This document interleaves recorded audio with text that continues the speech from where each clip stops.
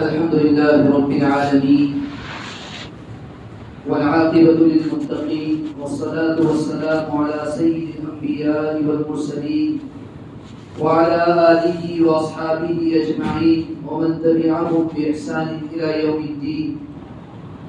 أما بعد فقد قال الله تبارك وتعالى في كلامه المجيد والفرقان الحميد فأعوذ بالله من الشيطان الرجيم.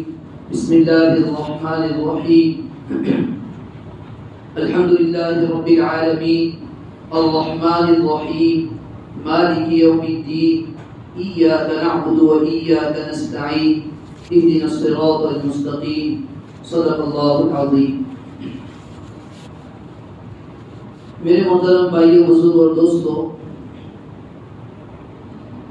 کئی ہفتے سے آپ حضرات کی خدمت میں سورہ فاتحہ کی کچھ مختصر تفسیر آپ کے سامنے عرض کر رہا تھا۔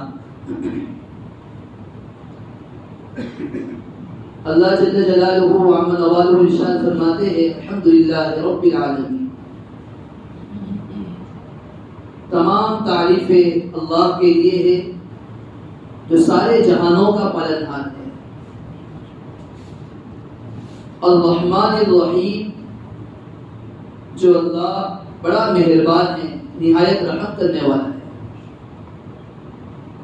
مالک یوم الدین جو بدلے کے دن کا مالک ہے۔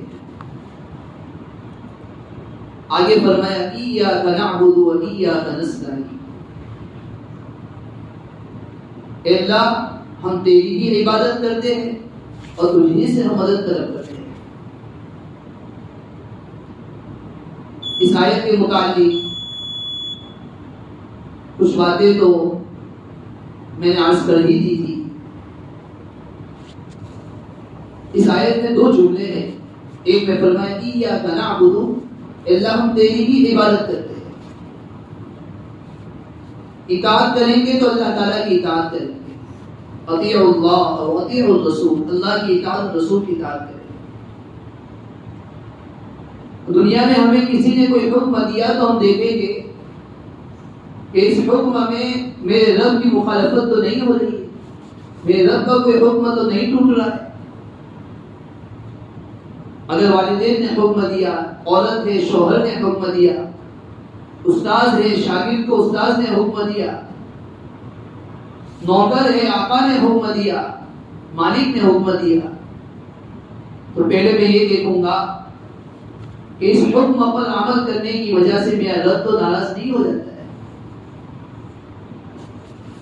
اگر رب کی ناراضگی ہے تو ہم کسی کے حکم کو نہیں مانیں گے۔ لا طاعت لمخلوق فی معصیت الخالق۔ ایک بات تو یہ بیان کی تھی۔ اسی سے ایک دوسری بات بھی سمجھ میں آتی ہے۔ اللہ نے فرمایا، ایاک نعبد بندوں سے کہا جا رہا ہے، تم کہو کہ تیری ہی ہم عبادت کریں گے۔ جتنی عبادت کے طریقے ہیں، وہ بھی اللہ کے لیے ہوں گے۔ عبادت ہے وہ سب اللہ کے لیے ہوگی۔ اور عبادت کے مشابہ جتنی چیزیں وہ سب اللہ تعالیٰ کے لیے ہوگی۔ دیکھو عبادت ہے نماز ہوگی، وہ اللہ کے لیے ہوگی۔ اللہ کے علاوہ کسی اور کے لیے نہیں ہو سکتی۔ روزہ رکھا جائے گا، اللہ کے لیے روزہ رکھا جائے گا، کسی اور کے لیے روزہ رکھنا نہیں ہوگا۔ بندہ جانوروں کو ذبح کر رہا ہے، قربانی کر رہا ہے قربانی میں حکم دیا گیا، اللہ اکبر اللہ اکبر کہہ کر ذبح کرو۔ تعلیم دی جا رہی کہ میں جانور کو ذبح کر رہا ہوں، اللہ کے لیے کر رہا ہوں۔ ان صلاتی و نسکی و محیای و مماتی للہ رب العالمین۔ میری نماز بھی اللہ کے لیے، میری قربانی بھی اللہ کے لیے، میری زندگی بھی اللہ کے لیے اور میری موت بھی اللہ کے لیے۔ جانور کسی اور کے، بہت سے لوگ جانور ذبح کرتے کسی پیر کے نام پر۔ قبر پر جا کر جانور ذبح کر رہا ہے قبر والے کے قبر والے کے نام پر ثواب پہنچانے کے لیے نہیں، قبر والے کے نام پر ذبح کر رہا ہے عبادت کے جتنے طریقے جتنے عبادت کے سب اللہ کی اور کسی کے لیے نہیں۔ اور جتنی عبادت کے طریقے ہیں، سجدہ کر رہا ہے۔ سجدہ بھی اللہ کے سامنے ہوگا اور کسی کے سامنے نہیں ہوگا۔ کسی اور کے سامنے سجدہ کرنا جائز بھی نہیں۔ عبادت کے لیے سجدہ کرنا کسی اور کے سامنے، کسی اور کے لیے جائز بھی نہیں۔ یہ پیشانی صرف اور صرف ٹیکی جا سکتی ہے، جھکائی جا سکتی ہے، وہ اللہ کے سامنے جھکائی جا سکتی ہے، رضا کی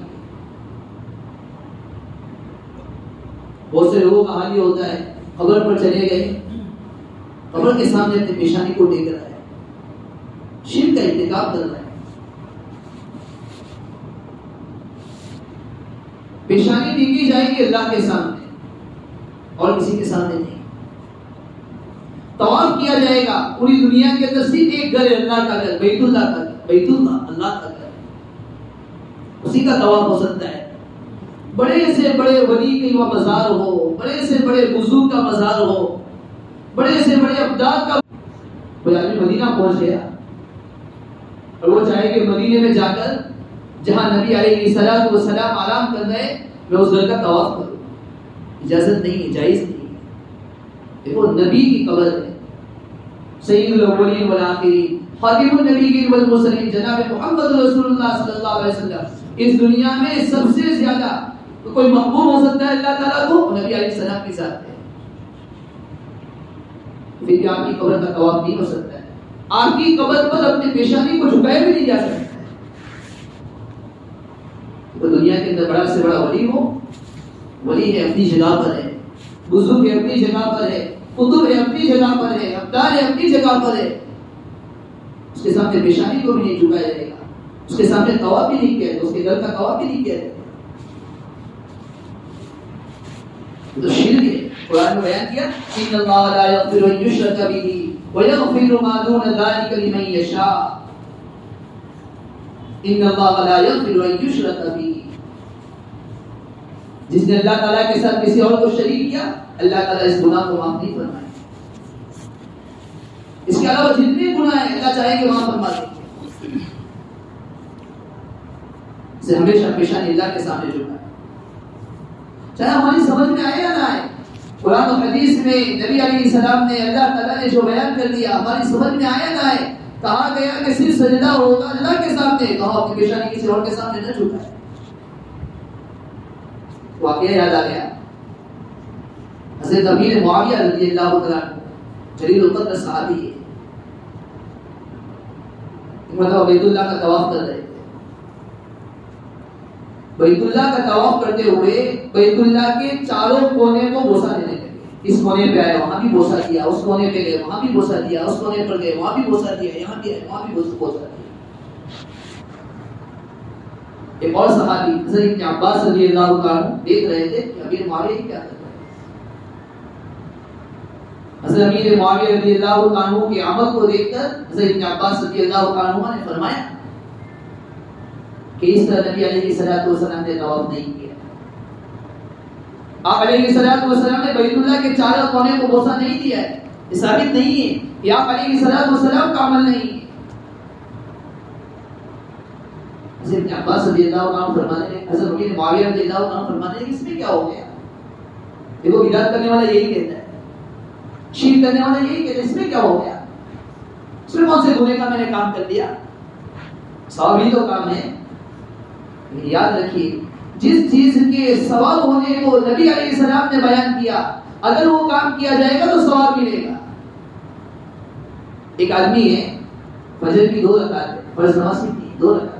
کوئی آدمی کہ نہیں، میں تو ثواب آتے کہ چار رکعت نہیں پڑھوں گا۔ ثواب نہیں ملے گا گناہ ملے گا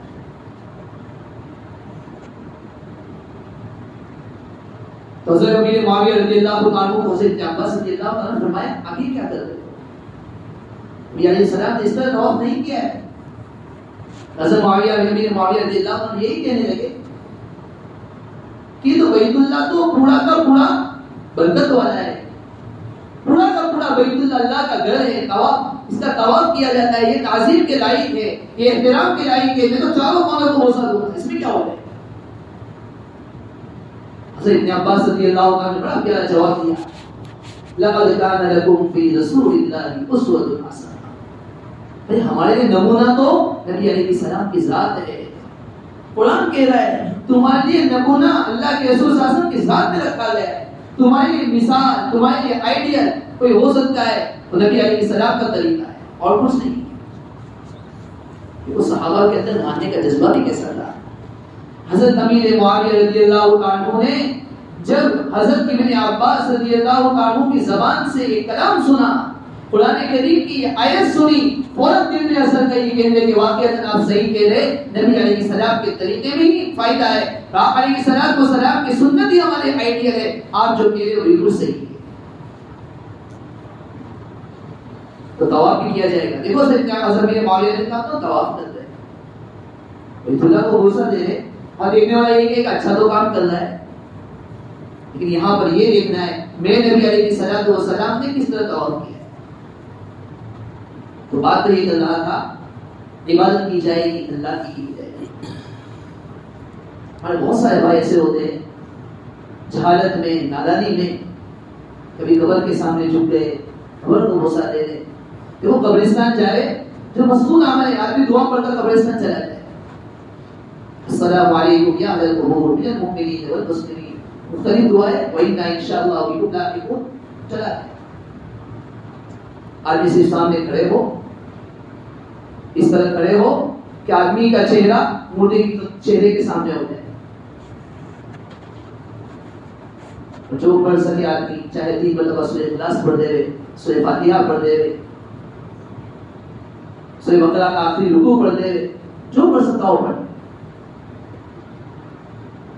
نہ اس کے سامنے جھکنا ہے، نہ اس کی پیشانی کو ٹیکنا ہے، نہ اس کا طواف کرنا ہے، نہ اس کو اٹھن چڑھانا ہے۔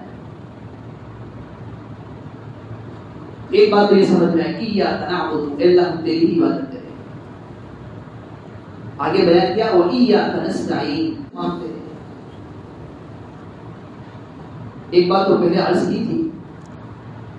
دیکھو، بندہ اور اللہ تعالیٰ کے درمیان فرق یہ ہے، دنیا کے اندر بندہ بندے سے مانگتا ہے، بندہ ایک مرتبہ دے دے گا۔ کتنا ہی سبھی کیوں نہ ہو، مالدار کیوں نہ ہو۔ ایک مرتبہ دے گا، دو مرتبہ دے گا، تین مرتبہ دے گا پھر دھوکا دے گا۔ پھر ایک دروازے پر آتا رہتا ہے اور پھر دروازہ تجھے نظر نہیں آتا ہے۔ لیکن میرے اور آپ کے رب کا حال یہ ہے، جو بندہ اللہ سے مانگتا ہے، اللہ تعالیٰ اسے خوش ہوتا ہے۔ بلکہ بیان کیا گیا ملم یس اللہ، جو اللہ سے نہیں مانگتا یا تو والے اللہ اسے ناراض ہو جاتے ہیں کیسا بندہ ہے؟ اسے مانگتا ہی نہیں۔ ایک بات تو یہ ہمیں مانگنا ہے، اللہ تعالیٰ سے مانگنا دیکھو دنیا کے اندر جتنے اسباب ہے۔ بندہ سبب کو اختیار کرے۔ بہت سے لوگ کہتے ہیں نا، سبب اختیار کرنے کی کوئی ضرورت نہیں، کرنے دینے والی ضرورت نہیں، بندہ اسباب کا محتاج ہے، سبب کو اختیار کرے۔ پیٹ میں درد دے رہا ہے، ضرور ڈاکٹر کے پاس جائے۔ دوائی لے لے، دوا کو استعمال کرے، پھر اللہ کے سامنے مانگے۔ اولاد نہیں ہے، پہلے شادی کرنا پڑے گا۔ بغیر شادی کی اولاد کیسے ہو سکتی؟ کوئی آدمی ایسی دعا کرتا رہے، اللہ بچہ دے دے بچہ دے کس کے گھر بچہ نہیں؟ اس کے لیے شادی کرنا پڑے گا۔ سبب اللہ تعالیٰ نے رکھا ہے۔ آدمی اپنے جانوروں کو کھلا چھوڑ دے کہ اللہ تعالیٰ حفاظت کرنے والا ہے۔ حدیث میں بیان کیا گیا۔ اللہ کے نبی صلی اللہ علیہ وسلم نے فرمایا، اپنے اونٹوں کو باندھو بھی اللہ پر اعتماد کرو، اللہ پر توکل گاڑی کھلی رکھ کر آ گیا۔ ایک لاکھ روپے اندر بھرے ہوئے ہیں۔ قیمتی سامان بھرا ہوا ہے۔ کھلی رکھ کر آیا کہ اللہ پر بھروسہ ہے کوئی کچھ نہیں کر سکتا ہمیں حکم ہے یہ سبب کو اختیار کرو جتنے اسباب اختیار کرو ہاں سبب کو اختیار کرنے کے بعد دل میں بات موجود ہو کہ ان اسباب میں اثر ڈالنے والی چیز اللہ تعالیٰ کی ذات ہے ڈاکٹر کے پاس دوائی تو لے رہے لیکن دل میں اعتماد ہو دل میں بات بیٹھی بیٹھی ہوئی ہو کہ اس دوا میں تاثیر ڈالنے والی ذات بہت سے حقیقی میرا رب ہے آپ دنیا میں دیکھا ہوگا۔ بڑے ماہر ڈاکٹر کے پاس چلے گئے۔ کتنے ہزار روپے کی دوائی لے لیکن اچھا نہیں ہوا۔ اور گاؤں میں جو چھوٹا ایک ڈاکٹر آتا ہے، اس کے پاس دوائی لے اچھا ہو گیا۔ کیسے شفا دی؟ کس نے شفا دی؟ ڈاکٹر نے شفا دی۔ اگر ڈاکٹر کے ہاتھ میں شفا ہوتی، تو ڈاکٹر خود کبھی بیمار نہیں ہوتا۔ ہمارے دل میں بات موجود ہو۔ سبب کو اختیار کرے دنیا کے اندر جتنی چیزیں ہو رہی، ہمارے ذہن میں، ہمارے دل میں بات موجود ہو، کہ یہ سب کر رہے اللہ تعالیٰ کر رہے حدیبیہ کے موقع پر، فجر کی نماز کے بعد، بارش ہلکی ہلکی بارش شروع ہوئی۔ نبی علیہ صلاحت وسلام نے فرمایا کہ دیکھو، بارش اللہ تعالیٰ کی رحمت برس رہی ہے۔ دو فرقے ہو گئے، دو جماعتیں ہو گئی ایک جماعت وہ ہے جو یہ کہہ رہی ہے کہ یہ بارش کھلا ستارے کی وجہ سے برسی ہے کھلا ستارے برسا ہے۔ اور ایک جماعت وہ ہے جو یہ کہہ رہی ہے کہ اللہ کی رحمت اللہ برسا ہے۔ پھر نبی علیہ السلام والسلام نے فرمایا، جو بنی اور جو جماعت یوں کہہ رہی ہے کہ ستارہ اللہ کی رحمت کو برسا رہا ہے یعنی ستارہ بارش کو برسا رہا ہے، وہ تو شرک کی طرف جا رہا ہے، وہ تو کفر کی طرف جا رہا ہے، وہ جماعت کفر کی طرف جا رہا ہے۔ اور جو یوں کہہ رہا ہے کہ یہ بارش اللہ تعالیٰ برسا رہا ہے، اس کے ایمان میں اضافہ ہو رہا ہے، اس کا ایمان بڑھ رہا ہے۔ دیکھو، ایک ہی چیز ہے۔ لیکن گمان کے بدلنے کی وجہ سے، خیال کے بدلنے کی وجہ سے، عقیدے کے بدلنے کی وجہ سے، ایک آدمی کون سا راستہ اختیار کر رہا ہے اور دوسرا آدمی کون سا راستہ اختیار کر رہا ہے؟ تو ہمیں تعلیم دی گئی ایا نعبد و میں۔ اللہ، ہم تیری عبادت کرتے ہیں تجھی سے مدد کرتے آگے بیان کیا اهدنا الصراط المستقیم۔ یہ دعا ہے۔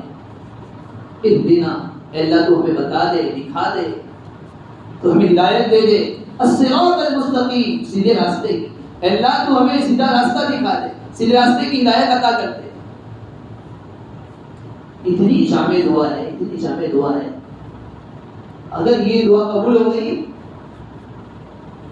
آدمی کے دنیا اور آخرت کے سارے مسائل حل ہو جائیں سارے مسائل حل ہو جائیں اللہ تو ہمیں سیدھا راستہ سیدھا راستہ سراط مستقیم کا کیا مطلب ہے؟ سراط مستقیم سیدھا راستہ، جس میں کوئی موڑ نہ ہو، کوئی ایج پیج نہ ہو کوئی ٹیڑھا پن نہ ہو، کوئی جھول نہ ہو، بالکل سیدھا آدمی کو منزل مقصود تک پہنچا دے۔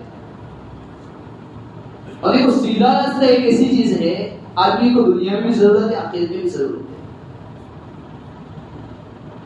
دنیا کے اندر آدمی تجارت کرنے بیٹھا آدمی یہ چاہتا ہے کہ مجھے ایسا راستہ بتا دو، جلدی سے منزل مقصود تک پہنچ جاؤں میرے پاس پیسے آئے زراعت کھیتی باڑی کرنے کے لیے بیٹا آدمی چاہتے ہیں مجھے ایسا طریقہ بتا دو، ایسا سیدھا سادہ طریقہ بتا دو کہ جلدی سے میرے پاس زراعت آ جائے کھیتی ہو جائے آدمی گھر بنانے کے لیے بیٹھا ہے۔ آدمی یہ سوچتا ہے، مجھے ایسا دنیا میں جس طرح سیدھے راستے کے جواب کی بھی ضرورت ہے۔ الصراط المستقیم۔ بندہ مانگ رہے اللہ تو ہمیں سیدھا راستہ بتا دے۔ ایسا راستہ جو ہمیں آخرت تک یعنی ایسا راستہ جو ہمیں جنت تک پہنچا اللہ کی رضا کا حاصل کرنے کا ذریعہ ہو۔ مفسرین نے عجیب بات لکھی ہے۔ قرآن کریم کی اس آیت میں اللہ تعالیٰ نے الصراط کو مطلق لکھا ہے۔ کیا مطلب؟ اللہ تو ہمیں سیدھا راستہ دکھا دے۔ یہ نہیں کہا گیا کہ میں کہاں کا راستہ، بیان ہی نہیں کیا۔ یوں نہیں میں دعا کروائی گئی کہ اللہ تو ہمیں جنت کا راستہ دکھا دے۔ نہیں۔ آخرت کا راستہ دکھا دے نہیں۔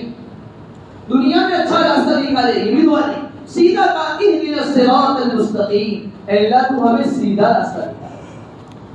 دے مسیح نے لکھا ہے، اس سے مراد دنیا میں بھی سیدھا راستہ دکھا دے دنیا کے کاموں میں بھی سیدھا راستہ دکھا دے اور آخرت کے کاموں میں سیدھا راستہ دکھا دے کتنی اچھی دعا ہے۔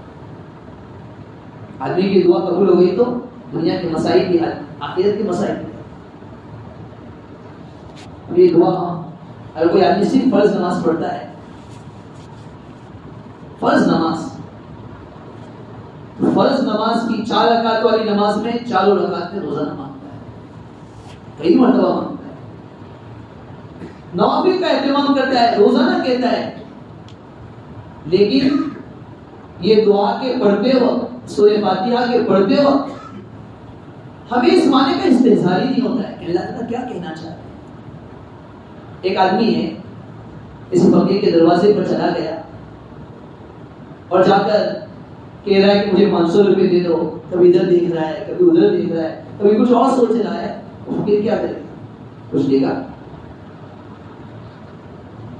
روزانہ اپنے سورہ فاتحہ پڑھتے ہیں، سورہ فاتحہ کے آخر آمین کہتے ہیں امام صاحب روزانہ دعا کرتے ہیں سورہ فاتحہ پڑھتے ہیں دعا میں کہتے ہیں اہدنا الصراط المستقیم اے اللہ تو ہمیں سیدھا راستہ دکھا دے اور سورہ فاتحہ کے ختم پر ہم سب اپنے دل سے اگر دعا کریں آمین یعنی اللہ تو قبول کر لے امام صاحب کا بھی بیڑا پار ہو جائے گا ہم سب کا بیڑا پار ہو جائے گا اگر اس معنی کا صحیح استحصال ہو آخر ایک بات اور عرض کر دوں میں تین کام کرتا ہوں ایک تو ہے آدمی پختہ عظمت ہے، پختہ ارادہ ہے۔ اس بات کا پختہ ارادہ، اللہ ہمیشہ میں تیری اطاعت کروں گا تیری فرما برداری کروں گا۔ ایاک نعبد و ایاک نستعین تیری اطاعت کروں گا، تیری فرما برداری کروں گا، تیرے حکم کے مطابق زندگی گزاروں گا۔ ایاک نعبد سے یہی تعلیم دی جاتی دوسری چیز آدمی پوری کوشش کرے صرف عزم نہیں، صرف ارادہ نہیں، عزم و ارادے کے بعد آدمی کوشش بھی کرے یہ دو چیز کر دی اس کے بعد تیسرا نمبر آتا ہے دعا۔ آدمی تیسرے نمبر پر دعا کرے اللہ، آج سے میں نے تیری کام کا عزم کر لیا ہے۔ میں اپنے اعتبار سے پوری کوشش بھی کروں گا۔ اب تیرے سامنے ہاتھ اٹھا کر دعا کر رہا ہوں۔ اللہ، جس کام کا میں پختہ ارادہ کر رہا ہوں کہ آئندہ گناہوں کو ارتکاب نہیں کروں گا، تیرے حکم کی اطاعت کرتا رہوں گا اللہ میرا یہ کام کرنا میرے آسان کر دے۔ جس نے راستہ بنتا ہے۔ دیکھو، حضرت یوسف علیہ کی صلاحت و سلام کا واقعہ آپ نے سنا ہو اور لمبا واقعہ ہے۔ تھوڑی سی اس کی جلد میں آپ کو دکھاتا ہوں۔ یوسف علیہ کی صلاحت و جلیل القدر نبی ہے۔ قرآن میں ان کا واقعہ بیان کیا گیا۔ ایک وقت ان پر ایسا آتا ہے، بادشاہ کے محل میں پرورش ہوتی ہے۔ بادشاہ کی بیوی ان پر عاشق ہو جائے فریفتہ ہو جائے زلیخا ان پر فریفتہ ہو جاتی عاشق ہو جاتی حسین و جمیل ہے خوبصورت ہے۔ ایک مرتبہ محل میں داخل ہوتی ہے، جہاں یوسف علیہ کی سلاد و ہوتے ہیں۔ زلیخا محل کے چاروں دروازوں کو کیواڑوں کو بند کر دیتی تالے لگا دیتی اپنی طرف مائل کرتی ہے۔ وراودته التي هو في بيتها عن نفسه وغلقت الابواب وقالت هيت آ جاؤ آ جاؤ میرے پاس آ جاؤ میں اتنی حسین و جمیل ہوں اتنی خوبصورت ہوں میری طرف دیکھو۔ اپنی طرف مائل کرنے کی، پھسلانے کی کوشش کرتی قرآن اس کو کی یوسف علیہ کی سلاۃ والسلام نے دیکھا ہے گناہ کی طرف مائل کر رہی قال، معاذ اللہ یہ گناہ میں کیسے کر سکتا ہوں اللہ کی پناہ، مجھ سے گناہ نہیں ہو سکتا ہے۔ انه ربی احسن مثوائی انه لا يفلح الظالمون میں نے اسی محل میں پرورش پائی۔ تیرے شوہر نے میری پرورش کی ہے۔ میں اپنے آقا کے ساتھ خیانت نہیں کر سکتا۔ میں یوسف علیہ السلام اس کو بھی اشارہ کرنا چاہتے کہ تیرے شوہر نے تو تیری تربیت کی تیرے شوہر کی تیرے تیرے اوپر کتنے احسانات کیے پھر بھی تو اس کے ساتھ خیانت کر رہی میرے سے تو نہیں ہو سکتا ہے میں خیانت نہیں کر سکتا ولقد همت به وهم بها لولا ان راى برهان ربي كذلك لنصرف عنه السوء والفحشاء انه من عبادنا المخلصين یوسف علیہ السلام لیکن یوسف علیہ السلام نے ایک تو پختہ ارادہ کیا میں مجھے گناہ کا ارتکاب نہیں کرنا میں نہیں کر سکتا پھر اس کے بعد اپنی طرف سے بھرپور کوشش کی، حالانکہ دروازے بالکل بند تھے، تالے لگائے ہوئے تھے، لیکن یوسف علیہ السلام والسلام اسی دروازے کی طرف دوڑنے تھے ہم جیسا کوئی ایسا ہوتا تو کیا کرتا؟ دروازے بنے نہ جاؤں، نہیں، اپنی طرف سے پوری کوشش کرتے دروازے تک پہنچ گئے حالانکہ دروازے بنے، اس کے بعد اللہ تعالیٰ کی طرف ہاتھ اٹھایا، دعا کی، اللہ، میرے بس میں جتنا تھا، میں نے کر دیا اب گناہ سے بچانا آپ کا کام آپ دروازے کو کھول دیجیے دروازے تک پہنچے چوچے دروازہ کھول گیا۔